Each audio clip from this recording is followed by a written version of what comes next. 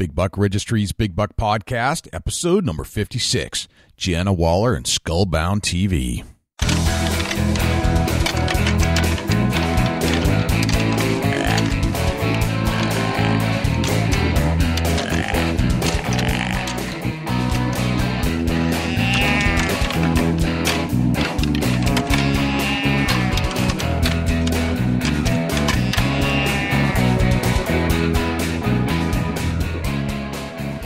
Big Buck Registry is a virtual museum of hunting stories. We preserve a piece of Americana by interviewing and recording hunters about their hunts and experiences from across the country. And who knows, maybe we'll learn a thing or two along the way that'll help us take our hunt to the next level. Hi, this is Jackie Bushman of Buckmasters. You're listening to my favorite podcast, Big Buck Registries, Big Buck Podcast. Welcome to the show, everybody. This is your host, Jay Scott of the Big Buck Registries Big Buck Podcast. Welcome back to another episode. I am here and joined by my good friend, field correspondent from Ohio, Dusty Phillips. Dusty, what's going on? Not a whole lot. What's happening with you, Jay? Now, you say it not a whole lot every single week. I don't believe you, man. You're right. You know, it just takes me a minute to open up and get in my head exactly what I need to be telling everybody that's going on. All right. Well, Yeah. you, you just told, got done telling me a story pre pre pre chat. You just got in a big fight with a big tire. Yeah, you gotta love tractor tires, but you know, it's not all about tractor tires. We need to be talking hunting. Well, hold on. I- I- D- did you win or lose?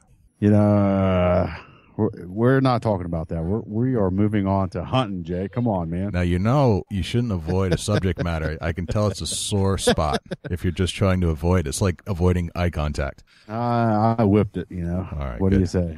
I, I just manhandled it and got it taken care of, and it's, it's a done deal. Now we're moving on. You know, this weekend I think I'm putting some mineral out. I'm gonna do a couple videos on putting out mineral. Nice. That's cool. I think we should get some mineral out. Um, I got a fancy package in the mail, and I finally sent out that package I promised you of a few DVDs that um, I promised you about six months ago.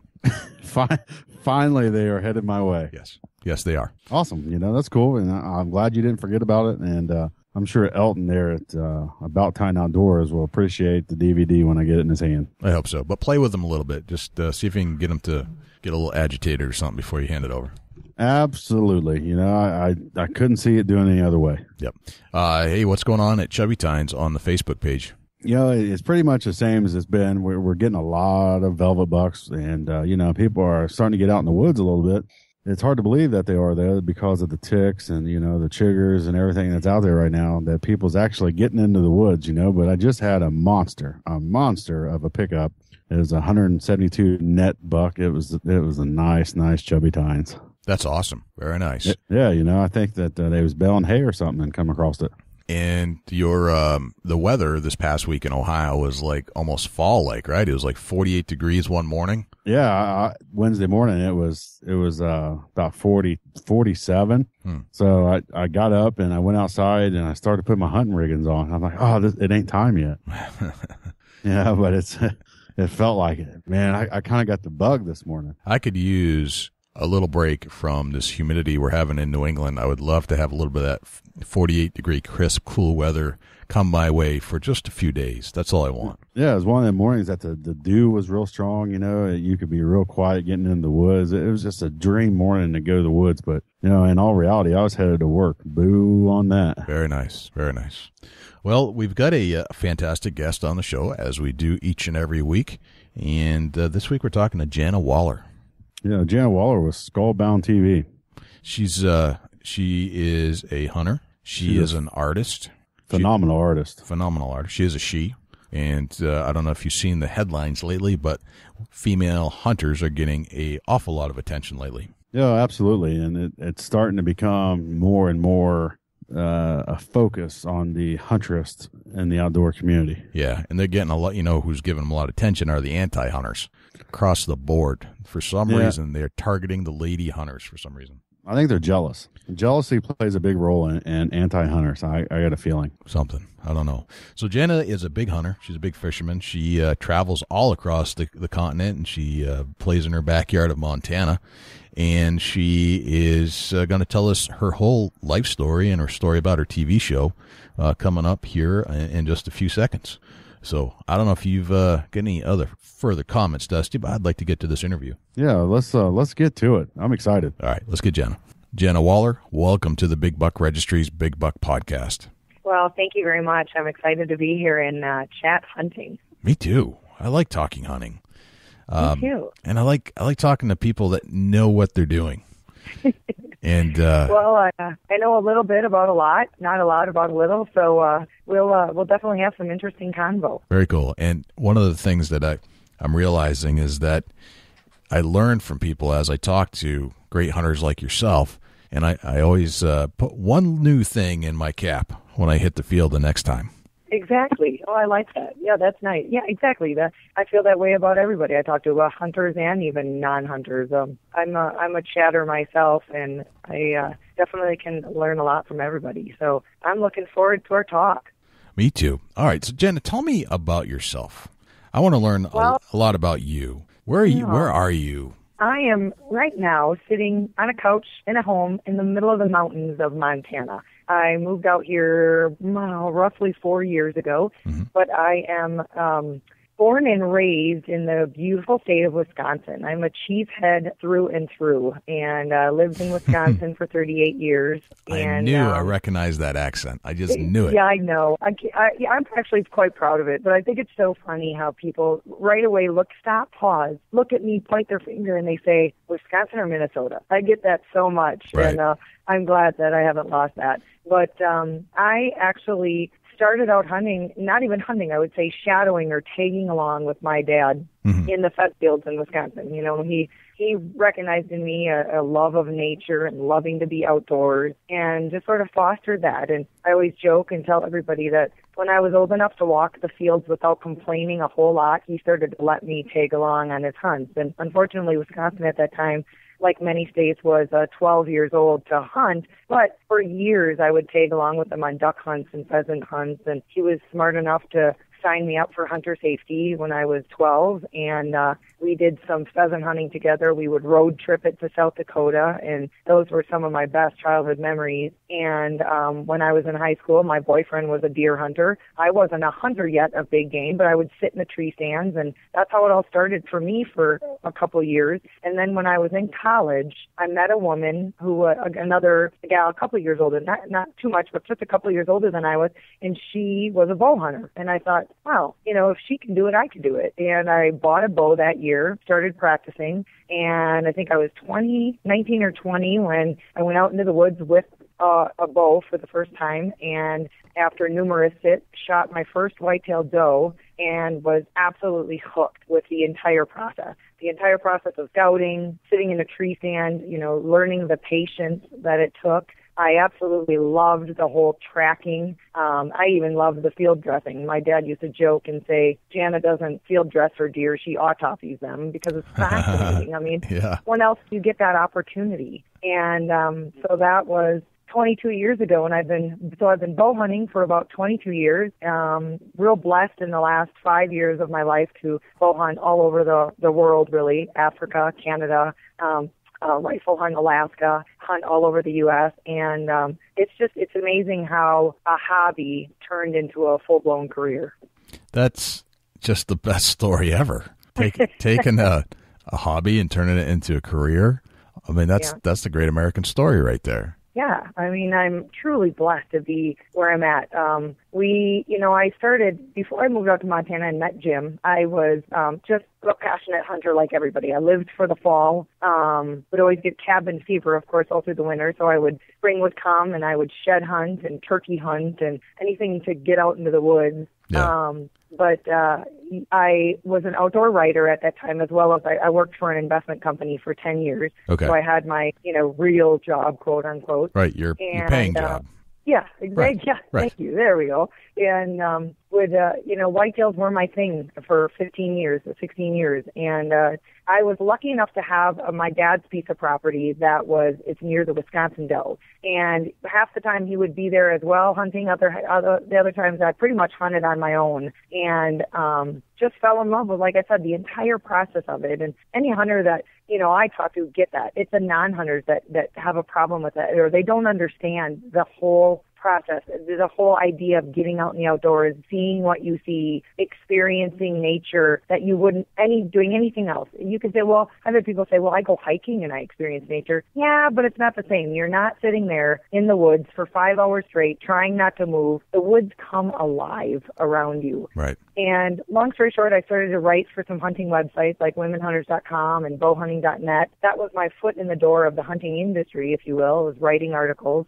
At the same time I was doing that as a hobby, I was also starting to paint skulls. I loved to, like I said, shed hunt, and I would find whitetail skulls and raccoon skulls and coyote skulls. My dad's property actually had two major highways that went around it, so of course there was a lot of highway kill and uh, he came back from a trip to New Mexico and he brought me a photo of a painted ram skull. Hmm. And he said, Why don't you start doing this? And my dad and I had always painted as hobby artists together for years. And I'm like, Wow, that's really neat. It was kind of painted in a Native American dot pattern design. And so I started painting some skulls on the side for fun. And people would see them hanging in my office or my home and say, "Oh, I'd like to order one of those for my husband or my boyfriend." Or I started getting a lots of orders, and so then I, well, maybe I'm onto something here, and I launched my PaintedSkulls.com website where I actually used to sell skulls off the site. And one thing led to another. The painting evolved into sort of beading or stoning skulls.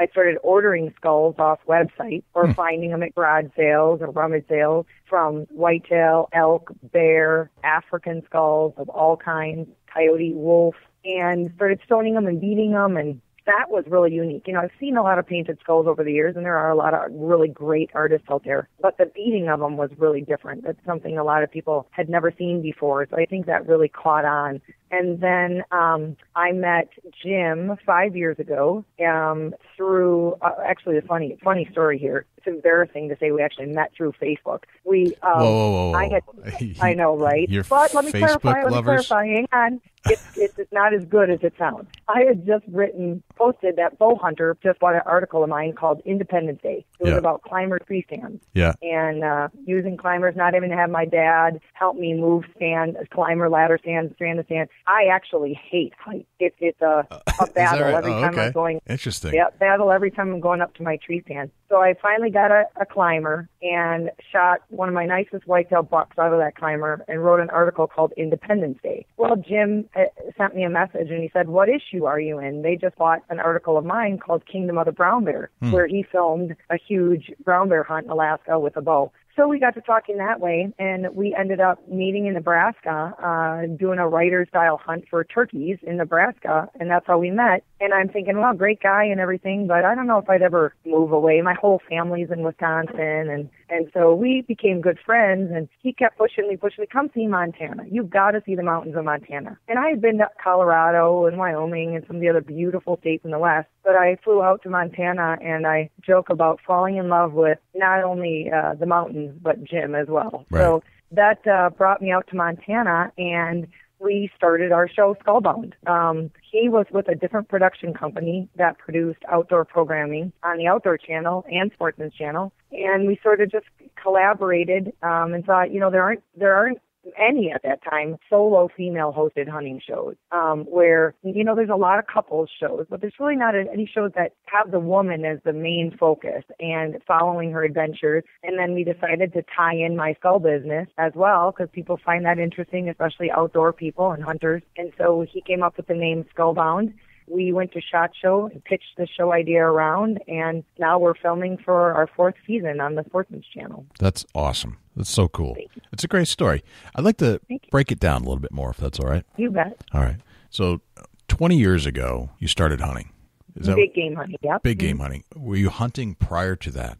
I was, but more bird hunting, like an okay. occasional pheasant hunt with my dad. Okay. It wasn't until I was in college that I started uh, hunting whitetails. Gotcha. So, would you attribute your love of hunting, or at least introduction to hunting, to your father? Absolutely, absolutely. My mother was always very supportive, but she wasn't a hunter herself. You know, she um, always very supportive of our entire family. But yeah, definitely my dad. And the funniest part, part of the story is I have one sister, uh, no brothers, and I was the second born. And I think my dad wanted a boy so bad Interesting. that he, you know, of course, was feeling blessed with a daughter, but recognized in me that I was, you know, as gung ho as any little boy would be to pick up that fishing rod or walk the fields with him. Or he, I remember my my earliest childhood memory was begging my mom to let me wait in the garage with my big rubber boots on because I knew my dad was out. She says catching ducks. Catching I ducks. I love that. Don't you love that? Catching- Hey, did you catch anything ducks. today? It's right. And he brought home a couple of uh, ducks, and I used to love the smell of them. Mm. As funny as that sounds, anyone who's been a duck hunter knows, you know, ducks have a great smell. You just bury your face in their feathers, and they smell great. And that's one of my first childhood memories. And I think he just got a huge kick out of that and really encouraged that throughout my childhood. Hmm. Interesting. What was your father like?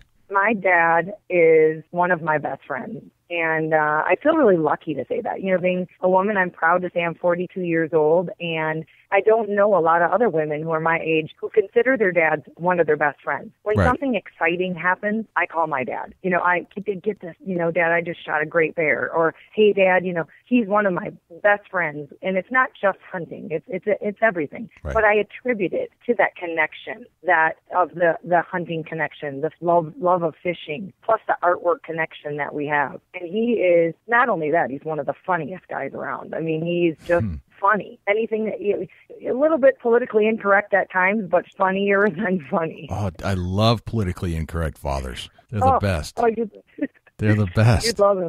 So, is your dad an artist as well, or is he? Where does the art side of you come into play? He's an artist, but just as a hobby artist. Okay. He was a businessman. He actually started out his career. He was um, a high school principal. He was only in that job uh, maybe four or five years, and uh, felt frustrated with the politics of education. And he ended up starting a sales repping group that repped printed circuit boards. And um, as time went on, he actually purchased one of the board houses in outside of Milwaukee in Oak Creek. Okay. So he was a businessman his whole life, but he always had, you know, passion for his hobbies. And his hobbies being fishing, hunting, golf, and artwork, if I had to name the top ones. And he's always uh, loved to paint, more so in his retired years. Um, he's in his, love to say that, props to dad. He's 72, maybe 73. Right now I have to do the math. But he, um, he, when he, in the last, I would say 15 to 20 years, he's really picked up his painting again. Um, not so much when I was at home under their roof, but he paints everything from wildlife paintings to Native American paintings, portraits, just for fun, for people, and he loves to give them away. And, Gotcha. um, yeah, and we took a couple classes together at the senior center in Fort Atkinson, Wisconsin, Yeah. out in the summers, just to have fun and spend time together and hone in on our skills. But uh, he's just a hobby artist. But again, it's, it's been very inspiring to me. That's excellent. Now, what was high school like? Did you hang with a Um, crowd? Were you in a clique? I wouldn't say I was a, in a clique. I don't like cliques. I've never, you know, been someone who thought of myself as a popular kid by any means. Okay. I really liked kind of everybody. Um, I had a core group of girls, of course, that we would hang around. And it was funny, that group of girls isn't like today. I get really excited when I, I've got a friend, uh, Rachel from Fort Atkinson, who is who in high school. She's a little hunter, and her friends are hunters, and that wasn't my high school life. It wasn't. It wasn't because it wasn't cool back then, like it is now. I think there's a, a you know energy now about being a young female hunter that's very positive, and I think that's wonderful. But when I was in high school, I was in into sports. I was I played soccer. I was uh, on in freshman year. I was a pom pom girl. Yeah. But uh, I loved soccer. I loved my friends, and uh, I was pretty normal. I don't know. I don't definitely not into the clicky thing though. Okay. so you just you you, you had a, a good high school career, and what did you do after high school? You do military? Did you go to college? I went to college. I went to the same college both my parents met at, or they went to and met, um, UW Whitewater, Wisconsin. It was only the town over from Fort Atkinson where I grew up. But I went to Whitewater. I studied public relations and health and majored in it and graduated in 1993 Mm-hmm. and uh, loved college. I had a great time in college, lots of friends. Um, College again, is great, re- isn't it? It's a lot of fun. Oh my goodness. isn't it the one, a wonderful time in your life? I really wouldn't is. want to go back there. Um, you know, I don't think anyone in college really. I this is my joke about people. I don't think anyone even really knows themselves until they get into their 30s. Right. And it even gets better in your 40s. I wouldn't trade my 40s for the world. I feel like, especially women, and maybe some people would argue with me, but we, we come into our own in our 30s and 40s. And, you know, instead of maybe trying to be other things, um, I wouldn't trade where I'm at in my life for anything. And Right. I, even though I loved college, I wouldn't want to go back there. I, I agree, and, and college was fun, and I always I listen to kids that are in college today, and they're telling me how hard it is. It's like you you you have no idea how easy it is. right. wait wait till you get to life smacks on- you in the face. Yeah, right, exactly. You Right. get to focus on school a lot, of, and of course, you know, you might have a job at the same time. But I don't, I don't wouldn't call college the quote unquote real world. No, Um, no, it's a very much a bubble. And Right. but I think I think you're right. I think when you get in your 30s and your 40s, you really become yourself, and Yeah. you start to develop that you know that in political or uh, politically incorrect side of you really emerges, and that's you, you look at your parents and like you become your parents. It's kind of funny. Oh yeah, I think so too. I and I uh, I think I'm a good mix of my mom and dad. You know, my I definitely my my outdoorsy side comes from my dad. My artwork comes from my dad. My sense of humor definitely comes from my dad. I've got to watch that sometime. Right. My mom, on the other hand, she's just a wonderful person. She's got a wonderful heart. Doesn't have a negative thing to say about anybody. Um, you know, I hope I have a lot of her in me. I look a lot like my mom. Everybody, it's funny. All her friends from college like to watch me go through life because I look so much like her. But um, nope, I uh, I'm really blessed. I've got a wonderful family, and my sister, who oh is completely opposite of me, by the way, which is really funny too. We I joke that she only goes outside to get to her car. Right. Um, she's completely not outdoorsy. Doesn't like to hunt, fish, anything like that. But she found her niche in life, and that's being a mom. She's one of the most wonderful mothers I know. She has three kids, um, and I just respect her so much for finding that and diving into it. She's very active in her church. She's very active at the school, and and uh, it's so funny how different we are, but how much love and respect we have for each other. That's awesome.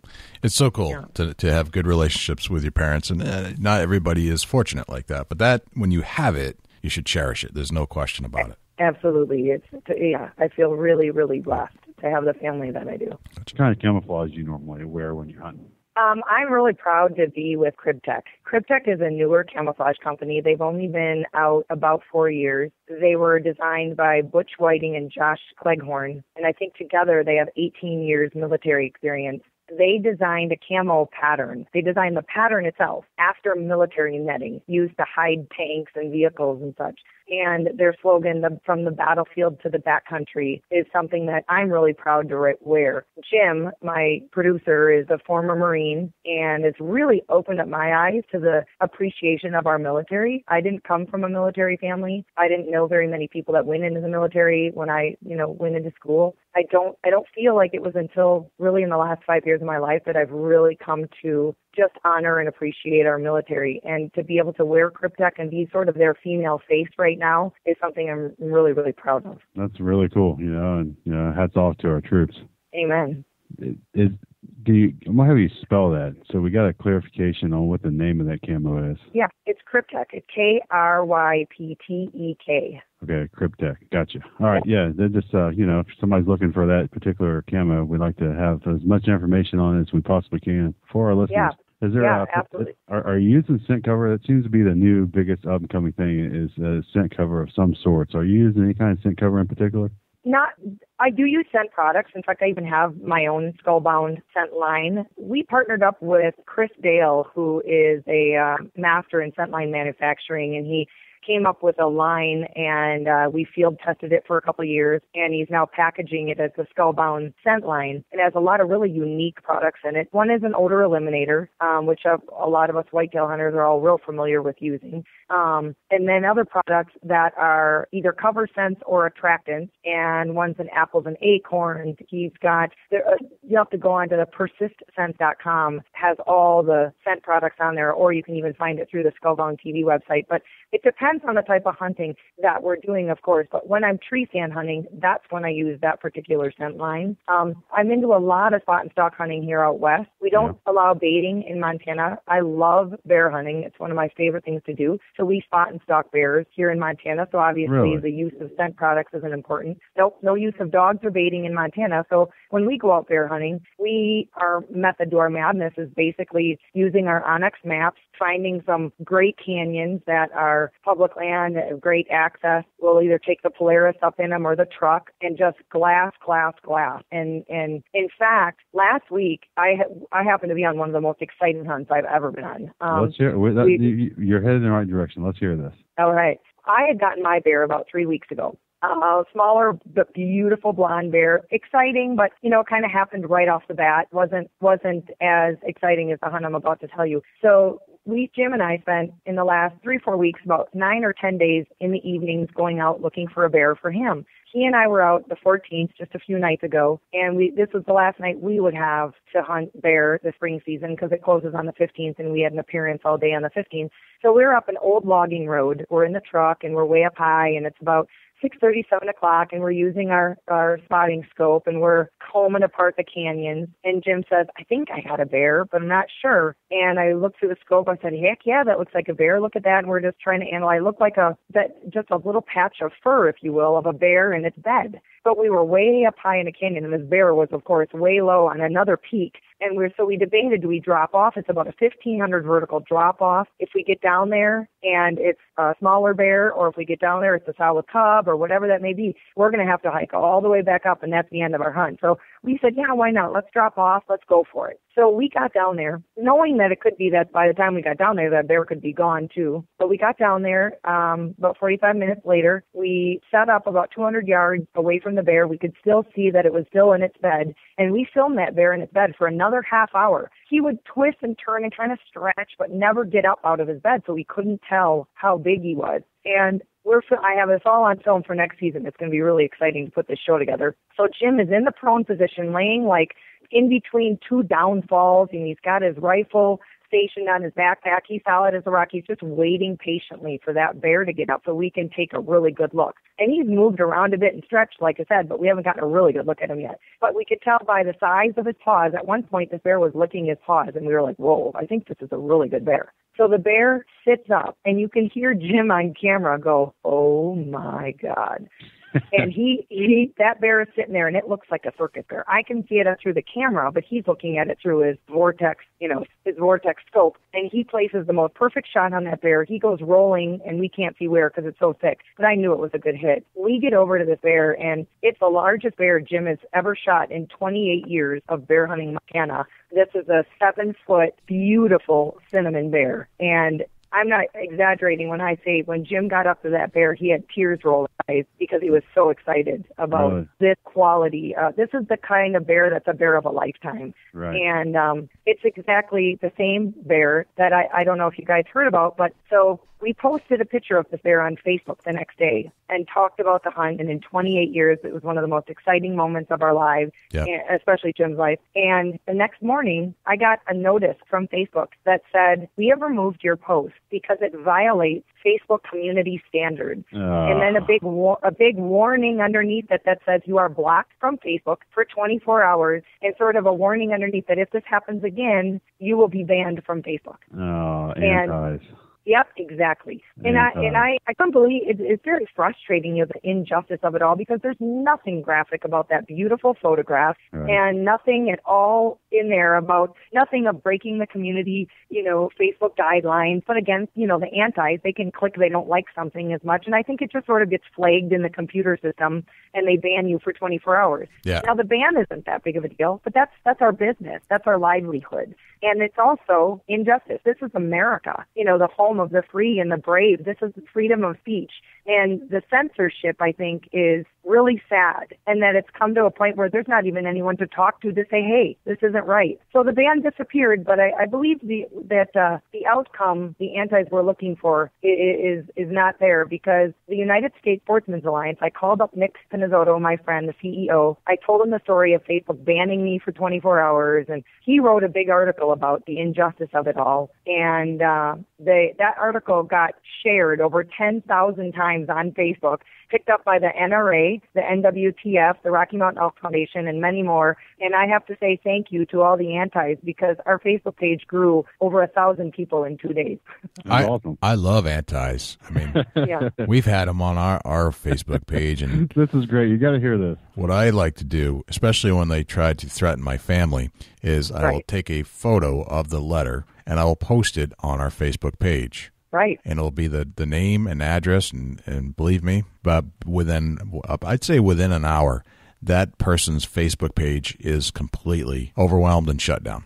I love it. I, I love it. I've done the same thing too. I've done a snap capture of the vile, cruel, harassing, threatening comments, which mm-hmm. is against Facebook community standards, right. mind you. Mm-hmm. And I've snap captured those and posted them on my wall as well. And you better believe it, they're gone within, like you said, hours. And I have to just say kudos to everybody on Facebook, all hunters who stand tall and proud and defend one another. And and uh, what the what the antis don't understand is when they do that, it just causes a, a stronger will of the masses, and uh, I think it has the exact opposite effect of what they're looking for. Yeah, and it's it's always like I, I forgot the guy's name, but I basically said, "Okay, that's great.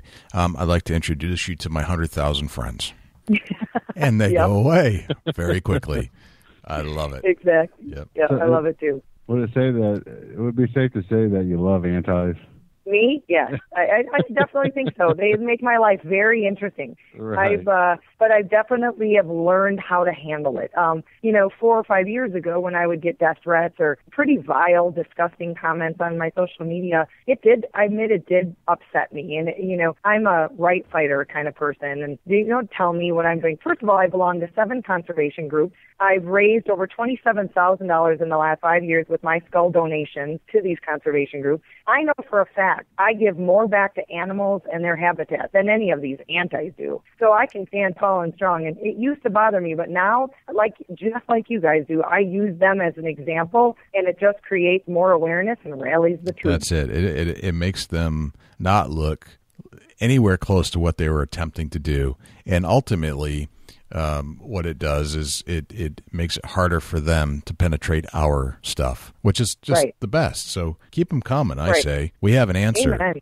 One of the best things I saw recently was the exposure of the United States Humane Society. Did you guys read about that? they've been exposed by a group who did a huge study and they found that their huge budget budget the money they millions of dollars they raise every year they spend 1% of that budget on animals a lot yeah. of it goes to their high paid salaries their vacation homes a lot of the ridiculous court cases that never get anywhere that they in state and uh, I just think it's funny because if antis truly understood the ways of, of how, how, how everything works, they would understand that there are more animals because of hunters, that we're the stewards of the land protecting and managing our herds and habitat. And they got it all backwards. Absolutely. If it wasn't for the hunter, and the actually the the group of hunters that formed with the United States to form the regulations that we have and to uh, basically take a piece of the money from every piece of hunting equipment and and uh, licensing that's sold. Right. There would be no animals at all. really. They, right. They, none gone. of them understand that. none of them. Snack, they don't. No. Mm-mm. They don't realize that at all, and it's yeah, there's, there's, a whole lot more to hunting than just going out and harvesting an animal. That's right. Right. Absolutely. It's often oh, often overlooked. Get back into your your hunt strategy. What kind of tree stands are you hunting out of? Are you in a ground blind? You in hang on? You in ladder? Tell us a little bit about your setup. Um, I like I said, I haven't done as much tree stand hunting as I used to, but um when I do, when I'm back in Wisconsin, um my favorites are ladder stands. I know they're not the the the best as far as mobility goes, but you know, after 20 years of learning your land, you kind of know, you know, what stands are good to sit in and, and what windy days. And ground blinds aren't my favorite, but I've hunted out of them. I know I'll be hunting out of them here in August in Wyoming on an antelope hunt. If I had to choose, um, I do. I have a couple of climbers that I've gotten pretty used to that I like as well, but I am not a fan of hang-ons. Um, just uh, I like a big platform. I like. Uh, you should see me duct tape to the tree when I'm up there, of course, and my uh, harness as tight as possible. But uh, not a fan of heights. I just work through it. But uh, I haven't had a chance to tree stand hunt as much since I moved out west because we do a lot of spot and stalk. It's not funny, Jay. I don't like hang-ons either. Oh, that's right. You don't like heights either, do you? I forget about I'm not a fan. You know, a good give me a good solid ladder going to the ground. I feel a little better about it. You know what? I- One one of Yep. my favorite things to do is to get in my my climber. I actually Oh, love my climber No way. more than anything because I can get up so Really? high. But I it, it, it is it is nerve wracking. But here's the reason I like it is because my dad worked for the telephone company for years and years and years, and I used to see him climb telephone poles gracefully. Sure. And to this day, Uh-huh. it's like I want to be like my father. So I get to climb up in these trees. They're not telephone poles, but they're like them, and I I get a kick out of that. Yeah, I, Yeah. I can see that. That's So- cool. Yeah, it's it's a little weird thing about me. Is there any is there any particular brand of tree stand that you use? Um, no, not honestly, no. I I don't have a tree stand sponsor, and um, my climber is a Summit. It's done very well for me, especially coming from a woman who's not that comfortable with height. Uh, I feel it's really safe. Um, and let me try to think too. I've used a couple of gorillas, but I don't really have a set tree stand company that I work with. Right. Um, I don't get to hunt out of them as much as I would like. Um, like I said, I've got some ground blind hunting coming up. I've done some spot and stock bow hunting out west here, but uh, I would say that my hunts are probably 75% rifle nowadays. Um, being a solo host of a show, I've got to get 13 episodes out of me. And as much as I love archery and have been archery hunting twice as long as I have rifle hunting, it is challenging and it's definitely more difficult to get a really good show on film.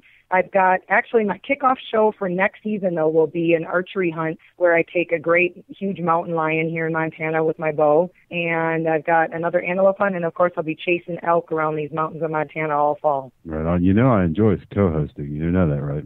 I'm sorry, I didn't hear that. What? I, I said you know I enjoy co-hosting. Oh, you do, okay. duly, duly noted. He's always trying to get himself on another show. I don't know why he doesn't like being on the show.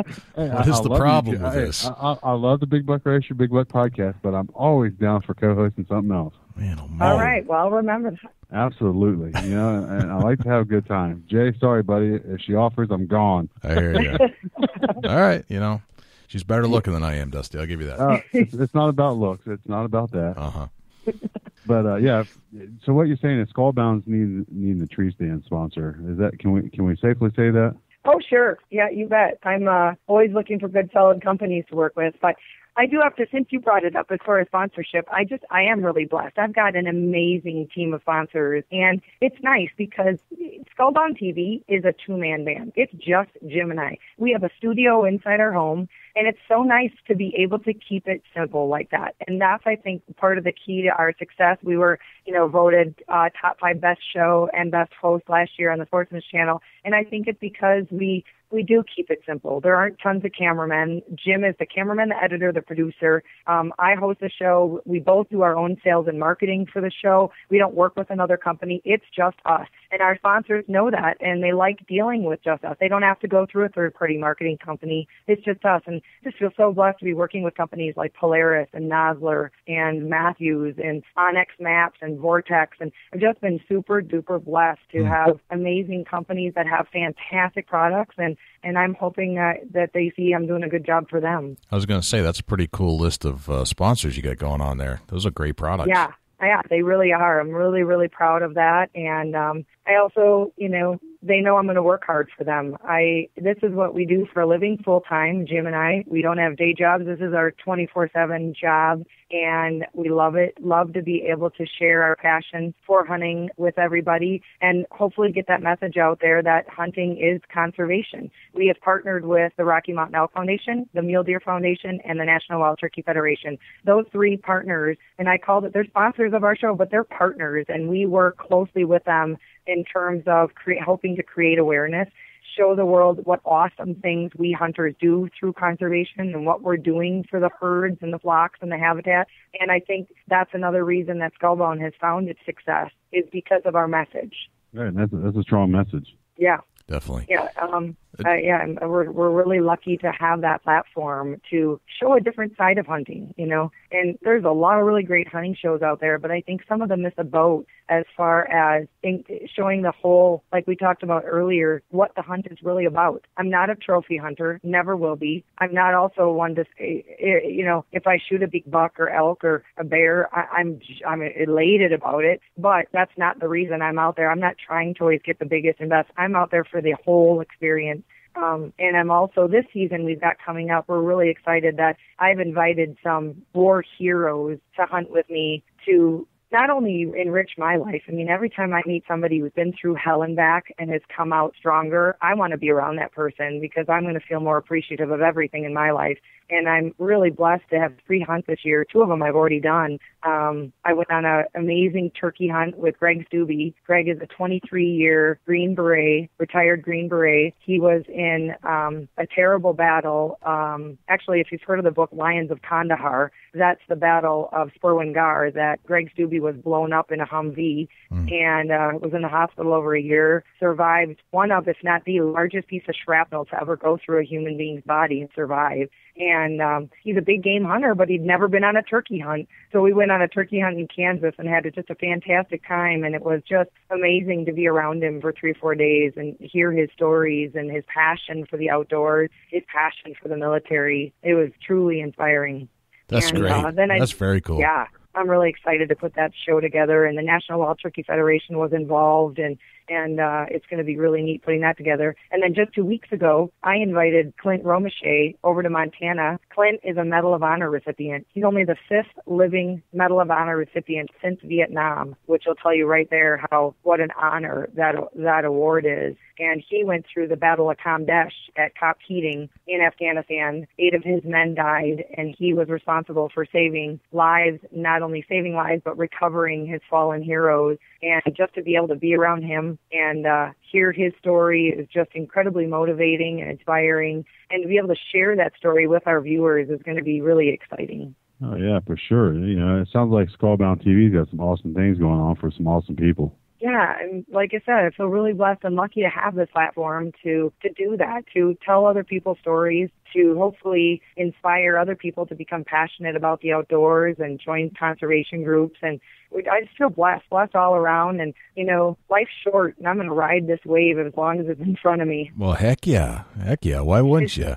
Um, right. That's excellent. Now, wh- where do you want to take the show from here? You want to just keep keep growing and, and finding more viewers and things like that? Yeah, well, you know, I love our network. The Sportsman's Channel has been so wonderful to work with. They, I really feel like they're our partners, not just a big entity that puts our show on. They've worked really well, uh, really great with Jim and I. They've been so uh, supportive as far as the show goes. I feel really lucky. I've been included on all their um, advertising lately. Is really exciting to be on the cover of their advertising programming with Sarah Palin and Gunny and uh, Cam Edwards. I mean, that's yeah. a pretty impressive crowd I to be standing say, on that, there with. That's a pretty cool yeah. picture. You've got uh, yeah. the Gunny. Dusty and I met the Gunny down at the Great American Outdoor Show.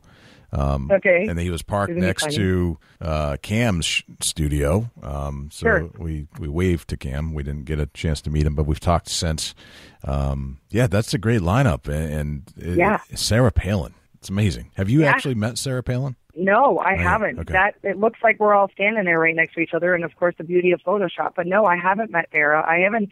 I've been gone so much. Jim and I are gone just tremendous amount of time that we don't even really watch TV much. Um, I haven't had a chance to catch Amazing America, her new show on Sportsman Channel, Yeah. but uh, I've heard it's uh, just a different twist, adding some new programming to the network, and pretty exciting to have a big name like that. Um, but yeah, I, I don't. I'm I'm excited where Skullbound is right now. You know, we're at the top of the charts as far as ratings on the network. Um, we found a nice home on Big Game Wednesday night. I'm proud to be in that lineup with some other fantastic television shows Very cool. and uh, they just have been great to partner with. Um, I do have another really exciting TV show that we're working on. It would be in partner with Skullbound. Um, it's in the beginning stages right now, um, but if it goes, it, it it's going to go big. It's Nat Geo slash History Channel Yeah, yeah, programming that Jim would be producing, and I'll just say it. Uh, it's going to be pretty exciting. I can't say a whole lot about it, but it is Ooh. it is involved in hunting and it's about it's about predators and uh when I can talk more about it I'd love to come back on the show and and talk about it with you guys. All right, so Wow. we're getting an inside scoop here, and you're not going to share Yep. a little a little secret or anything with us right now. Nope. Not You- not going to do it. Nope. You've heard what I got to say, but I promise you I will come back and tell you more when I All right, can. all right, that's fair enough. We can take that deal. Yep. All right, so you were on Cam and Company.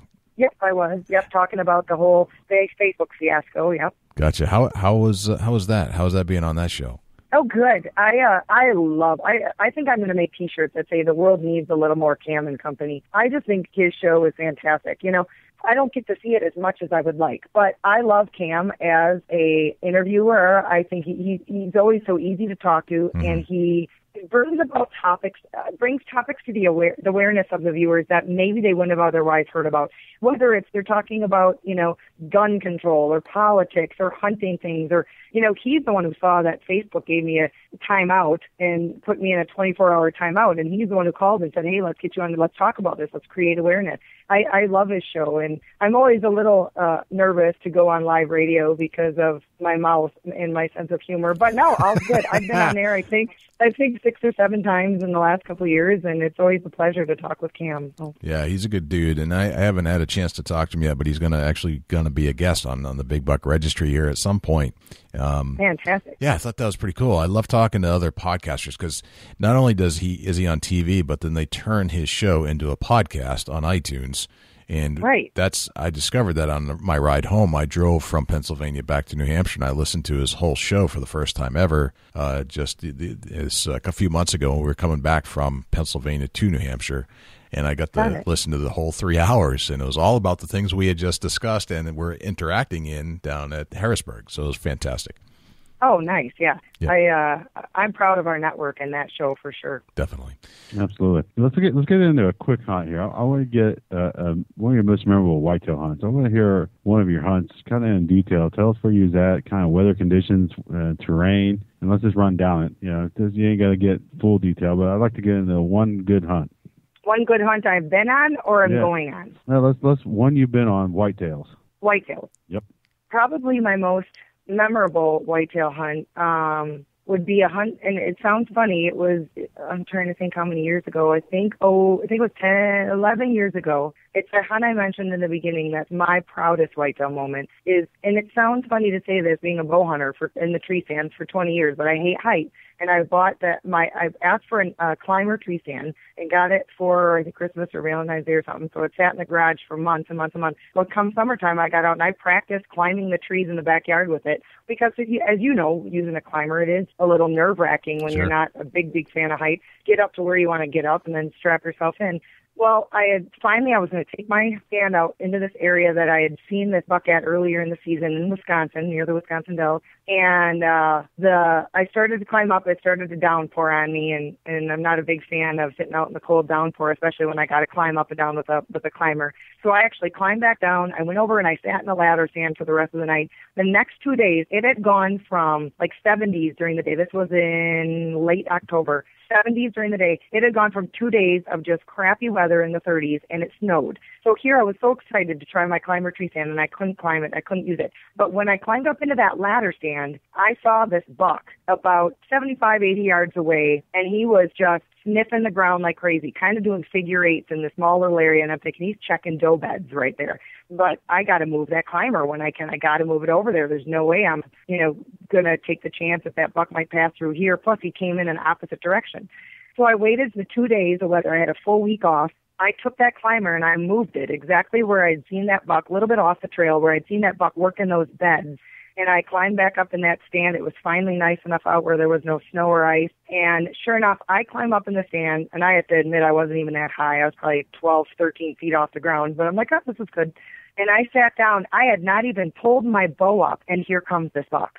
And I'm like, this, I wish I would have had a camera on me because it would have been really hilarious. I'm scrambling to get my bow up in the stand. I unhook my bow. I'm, I don't need, I've got my release on my wrist. I always walk out with it on anyway, but I knock an arrow and here he comes and he's got his nose to the ground. Thank God. Long story short, I pulled back and arrowed this buck and he was only 20 yards when I shot him. He ran off and I, it happened all so fast. I can't even tell you. I couldn't tell you. Yes, it was a solid, perfect hit. I, I, I thought it was. I heard the thump, but I was so jacked and excited. And I looked with my binos. I could see my arrow in the ground, and it was straight up and down. Hmm. And I remember thinking, like, how, okay, like if I hit that buck, how did my arrow go through the buck and end up straight and down? And I'm looking at it and I don't see blood, but I knew I, I knew I felt great about the hit. I heard the hit. I felt anchored, but I was so jacked. My, I, I have to admit, I get jacked. My adrenaline just goes insane. I had to sit down. I was shaking so much. I was so excited. Right. It don't well, get no I give better. it, what? It don't, no be- it don't get no better than that. Exactly. So I sat down in the tree stand and I gave it the half hour and I carefully watched my watch. I didn't move for a half hour.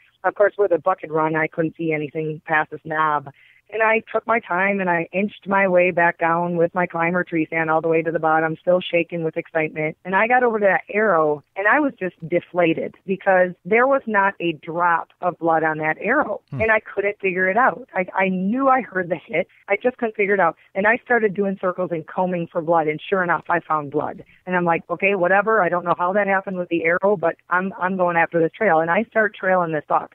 And I trailed it up to this one spot and I marked it and I went back to the cabin because I still had a couple hours of daylight. I'm like, I'm just going to sit back. I don't know where I hit this buck. I don't want to push this buck. I'm going to go back to the cabin and get my dad.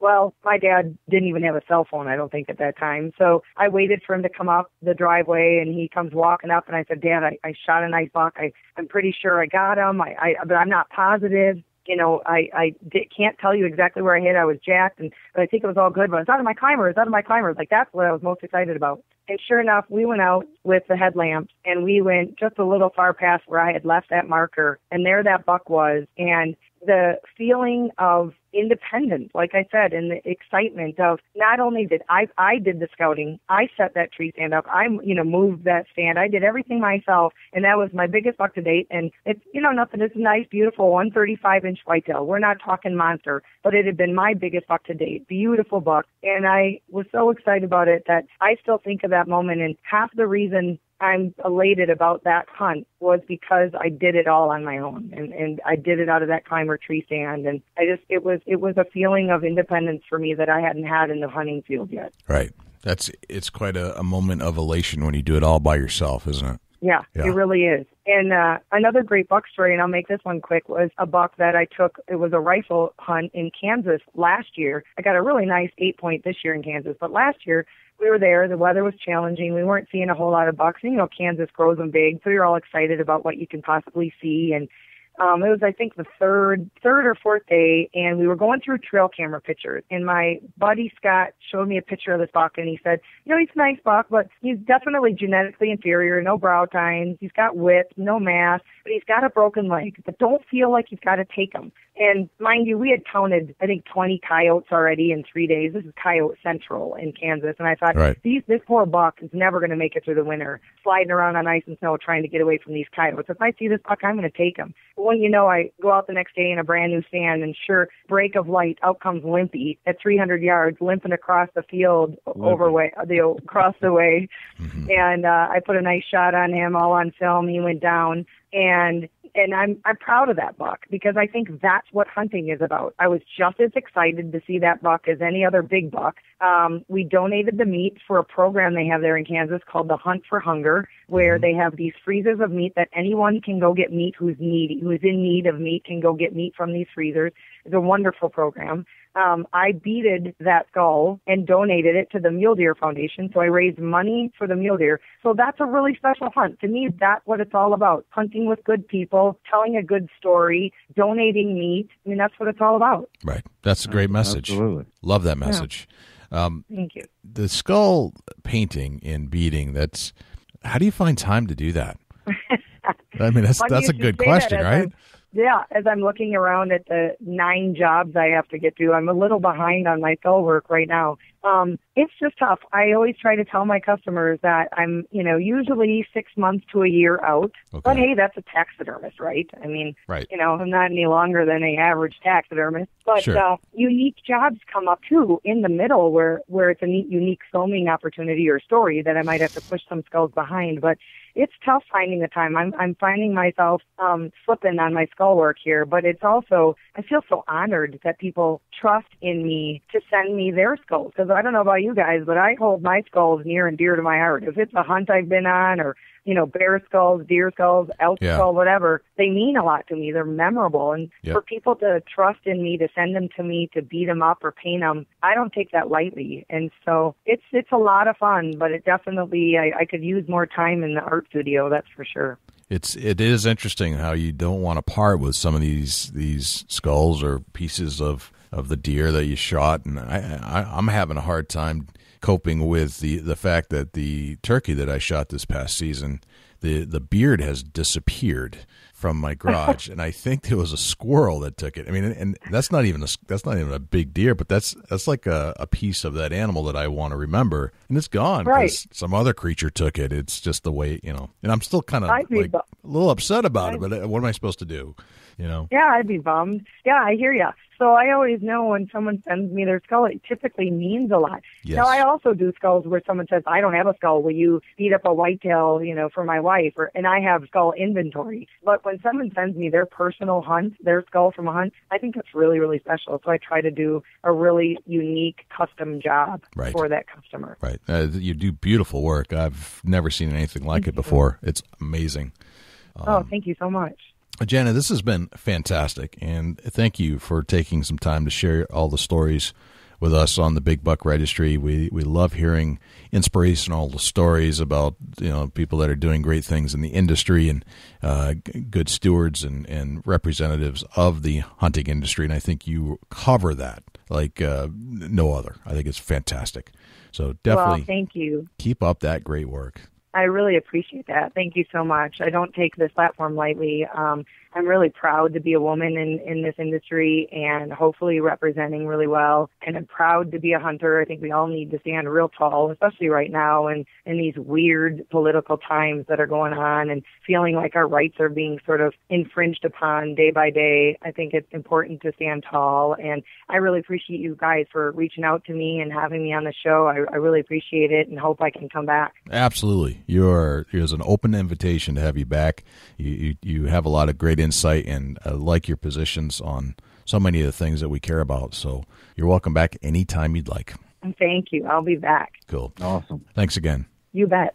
Well, Dusty, I uh, once again I learned something from an aspect, a perspective of hunting that I, I just don't have, and it's just fantastic. I love what Jana's doing with the artwork of the skulls. Yeah, you know, she's putting the uh, beads on the skulls, and it, if you take a minute to check her out there at Skullbound and uh, on Facebook, and she actually's got some pictures posted up of where she beaded beaded the skulls of these uh, phenomenal harvests, and, and, anybody can get one done. She does it almost as a living. It's a hobby, but yet you know it's it's turned into more than just a hobby for her. So it's phenomenal work, and she's able to donate a few skulls to some big events and you know raise some money for charity and, and that's awesome. Yep. She's on the sportsman channel skullbound tv check her out skullboundtv.com uh, check her out there. And then on facebook it's uh, skullbound. So uh, best of luck to jana and hopefully we'll have her back on the show sometime near down the road. Oh absolutely. You know we, we welcome you back anytime jana. Absolutely. I've, I've reached out to Kendall Jones to see if we get her on the show, and I have not heard anything. So if there's anybody, if you're listening out there and you've got a phone number for Kendall, I would love to have it. Shoot me a private message at j at bigbuckregistry.com because I want to have her on the show to tell that story about the antis attacking her and her, her whole Facebook page and all that. That's a story we need to share here on the Big Buck Registry and get to the inside scoop. That's what we need, Dusty. Yeah, absolutely. I agree to that. You know, it's something that it needs to be brought to attention that, you know, there's always a question of why. Why are they focusing on you? Right. Yeah. Why are they focusing on, on you in particular? Right, yeah, they're they're really it's like a group of tigers coming in on some on some bait, you know, and right. they're really really getting after. It. And I, you know, it's something I don't understand, and we definitely need to hear the story from somebody that's getting attacked by the antis. I agree, and we need to kind of band together to help her. I think. Um, yeah, would, absolutely, but, absolutely. You know, but first, I would like to get that story from her. You know, I I see a lot of shares going on. I see a lot of jabber about it, um, but I, I got to tell you, you know, the way we are handling handling things here at the Big Buck Registry as journalists, as uh, as media, we really need the story first before we can go blasting this off. You know what I mean? Yeah, absolutely. I, I couldn't agree more to that. And we are going to get the story if it's available. Yeah, yeah, I agree. Um, so what's uh, how can we reach you over at Chubby Tines Dust, if we want to reach out to you and any get any special tips of the week or anything like that? You know, I do have a tip of the week. You know, cool. You you got to get some mineral and you got to get some feed out early. You know, I, am a firm believer if you're able to to put out some corn and some mineral for your deer, not only is it going to increase your antler growth and and, you, and your herd's physical appearance, and also keep them nutrition at the highest peak level that you can keep it at. You know, get some mineral, get some get some corn. Or, you know, a lot of people's going to chicken laying mash. I, I just heard this not too long ago. It's a uh, high in protein, and, and, man, it's really packing on the antler growth. I, I don't understand. I got to do some research on that, but I've heard chicken laying mash is the next new deer feeding product. Hmm. Interesting, very interesting. Hey, I just uh, I got a, a, text here from uh, Griff Baute, uh, B A U T E. He's one of our fans, and we've talked to Griff quite a bit. Uh, I hope I'm pronouncing his his name correctly. Uh, but uh, he wants us to cover the um, National QDMA convention this year. Really? Mm-hmm. He said he he thinks we should really get there and talk to Kip Adams and uh, want. He knows that we covered the Great American Outdoor Show. Right. in general, podcasters don't cover conventions like this, and I I agree with him. I think we should cover this kind of stuff. It's it's exactly what people need to know because when you go to those shows, it's right on the you get the what's on the cutting edge of technology and stories and news and um, threats to the industry. All that is right there for you to just grab a hold of. And yeah, we, I, I agree. Yeah, and it's our job to report on it to get it back out to the masses that can't make it to the show. I think that sounds like a great idea. I agree. All right. So how do we uh, how do we reach you, Dusty? Facebook.com forward slash Chubby Tines Outdoors. Very cool.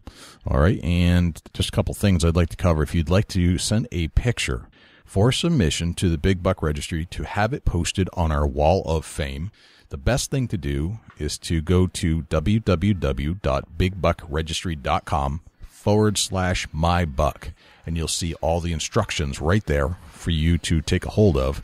And there are several different methods. I had one person tell me that it wasn't easy, um, which I disagree with because one person out of a few thousand didn't get it right. But um, I'm not changing it, just so you know. But uh, it's all the instructions are there. It sh- gives you an email. You can send it to to us, uh, and then we'll, if it meets our criteria, we will post it on our wall of fame. We post five a day starting at 7 a.m. and uh, work it in throughout the, the mix. And the criteria that we are looking for, number one, would be we would like a picture of you and your buck just after harvest. If you have additional pictures to send in, that would be pictures of the mount or a picture of um, like a game cam picture you had before you actually harvested the buck, that's awesome. If you can send all three, that's the pinnacle for our wall of fame. If you send in a picture of just the buck, eh, it's going to have to be one fantastic buck to make the wall. If it is a picture of uh, just a mount, sorry, it's just not going to cut it unless it's one of the most unusual bucks we've ever seen but that's about it. And if you you must include your first the first name of the hunter and the state of harvest. If you do the state of harvest, hunter's first name, and at least a picture of you with your buck, And if you have other pictures of a game cam or a, a picture of the mount for a before and after shot, that's guaranteeing you a spot on the Big Buck Registry's Wall of Fame. That's how Dusty got there, right, Dusty? Absolutely. You know, it just uh, it's pretty simple and it's pretty awesome if you make the Wall of Fame. That's right. And you will have a moment of fame because you're going to be shown to, in on average, you're going to be it'll be shown to about forty five thousand people, making it into the the uh, feeds of other people on Facebook.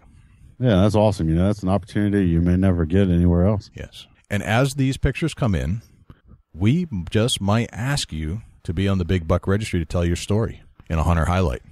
And that's really the only way to do it.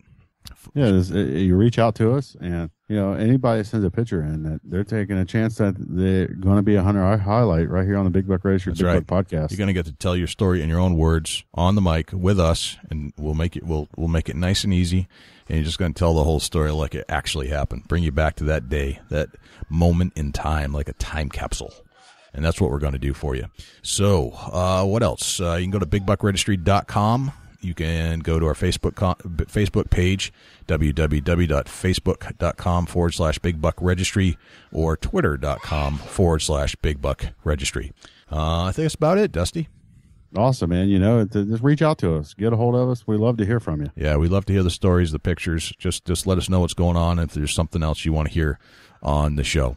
Um, there's something that's uh, just popping up, an anti chase snapper, somebody else, let us know. You know, we like to know these things. That's right. If you've got a new story that we need to cover, we need to get a hold of these people to tell that story, something unique, uh, unusual. Uh, somebody steals an antler, somebody steals a mount, um, somebody's attacking somebody for hunting or something like that. Let us know because we want to get on top of that story pronto.